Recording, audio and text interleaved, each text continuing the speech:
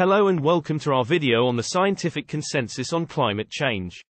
Climate change is one of the most pressing issues of our time and has been the subject of much debate and discussion.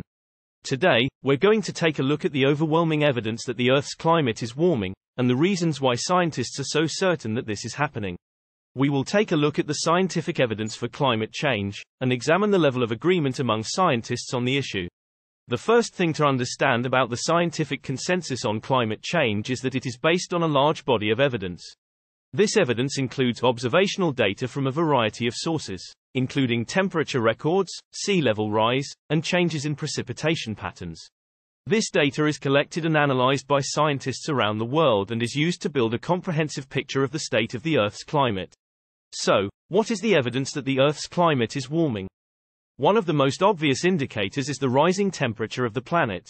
According to NASA, the average global temperature has risen by about 1.8 degrees Fahrenheit, 1 degree Celsius, since the late 1800s. This may not sound like a lot, but it's important to remember that even a small change in temperature can have a big impact on our planet. One of the most important sources of observational data on climate change is satellite measurements. These measurements show that the Earth's surface temperature has been rising over the last century, and that this warming is happening at a faster rate than at any other time in the last 1,000 years. This warming is also causing sea levels to rise, and is resulting in more frequent and severe heatwaves, droughts, and storms. Another important source of evidence for climate change is the study of ice cores. Ice cores are long cylinders of ice that have been drilled out of glaciers and ice sheets. They contain a record of the Earth's climate going back hundreds of thousands of years, and they show that the Earth's climate has been relatively stable over this time. However, in the last century, the Earth's climate has begun to change at a much faster rate than at any other time in the last 1,000 years. One of the most compelling pieces of evidence for climate change is the increase in greenhouse gases in the atmosphere. Greenhouse gases, such as carbon dioxide and methane, trap heat in the atmosphere and cause the Earth's temperature to rise. The levels of these gases have been rising steadily for the past century, and scientists have been able to track this increase with precision. So, what is causing this increase in greenhouse gases? The overwhelming evidence points to human activities, such as the burning of fossil fuels and deforestation. When we burn coal, oil, and gas, we release carbon dioxide into the atmosphere. Deforestation also contributes to the problem by removing trees that absorb carbon dioxide from the atmosphere. But it's not just the increase in greenhouse gases that is causing the Earth's climate to warm. There are also other factors at play, such as changes in the Earth's orbit and solar radiation. However, the overwhelming evidence shows that these factors alone cannot account for the warming of the planet. The only explanation that fits all of the data is that human activities are the primary cause of climate change.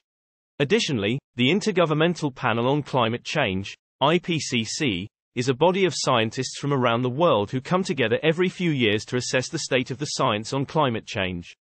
They have released five reports so far, and each one has found that climate change is happening, and that human activities are the primary cause.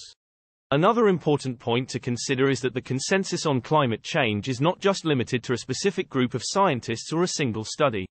The agreement among scientists about the reality of climate change and its human causes has been consistently reflected in numerous scientific assessments and studies over the last few decades. So, what does this mean for the future? Unfortunately, the warming of the planet is going to have a major impact on our world. We can expect to see more extreme weather events, such as heat waves, droughts, and storms. We will also see sea levels rise, which will cause flooding and erosion of coastlines. And as the Earth gets warmer, we will also see changes in ecosystems and the extinction of many species. But it's not all bad news. We can still take action to slow down the warming of the planet. We can reduce our greenhouse gas emissions by using renewable energy sources, such as solar and wind power. We can also reduce our consumption of meat and dairy products, which are responsible for a large portion of our greenhouse gas emissions. And we can also protect and restore our forests and other natural habitats, which help to absorb carbon dioxide from the atmosphere. In conclusion, the scientific consensus on climate change is clear and overwhelming. The Earth's climate is warming and human activities are the primary cause of this warming. We have overwhelming evidence to support this consensus, and the implications of this warming are serious. It is important to understand the science behind climate change and to take action to address this pressing issue but we still have the power to take action and slow down the warming of the planet. We hope you've learned something new today. Thanks for watching and remember to like and subscribe.